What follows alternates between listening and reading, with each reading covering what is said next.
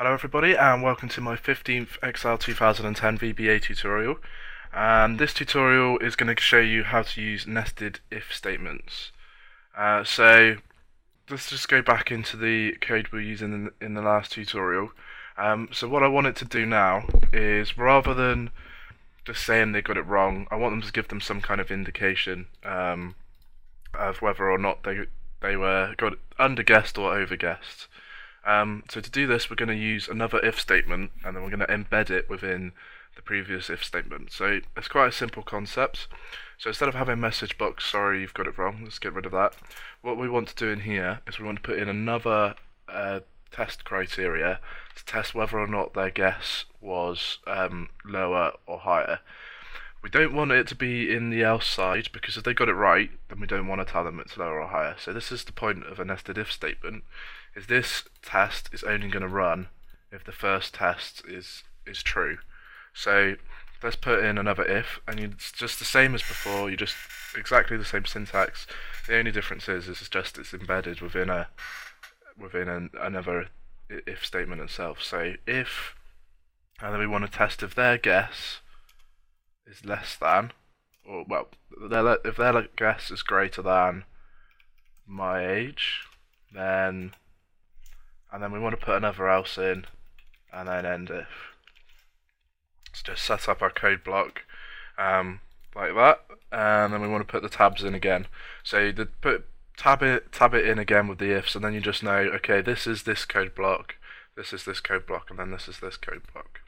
So if their guess is greater than my age then uh, message box. How rude. I'm not that old.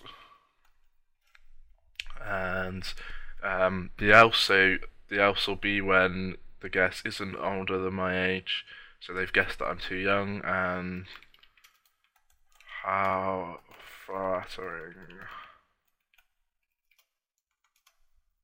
But I'm a bit older.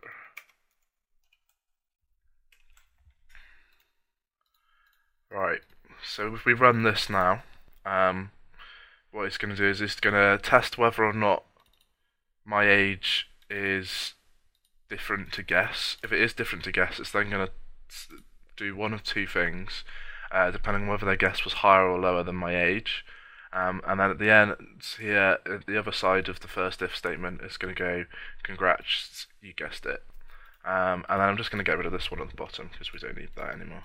So um, the code will run whatever. We know that code's going to run whatever. So let's just press play. So guess my age, 28. How rude! I'm not that old. Um, so you, you, can see then it's coming out with the the older one, and it's not running the the the younger one, and it's not running the congratulations. You guessed it. It's, let's guess young. Let's guess that I'm eight. Um, how flattering! I don't think I'd be that flattered if someone guessed I was eight. Um, and then let's, let's just test that it's still working if we um, if we guess it right. So let's put it in 24 and say congrats, you guessed it. Excellent. So that's how you'd use a nested if statement. Um, if you wanted to go even further and put extra if statements in, then you can go as deep as you like. Um, just bear in mind that if you keep doing enough of them, it's going to get quite complicated. And if you're going more than kind of like 10 or 20 then there's probably going to be a better way if you're doing it.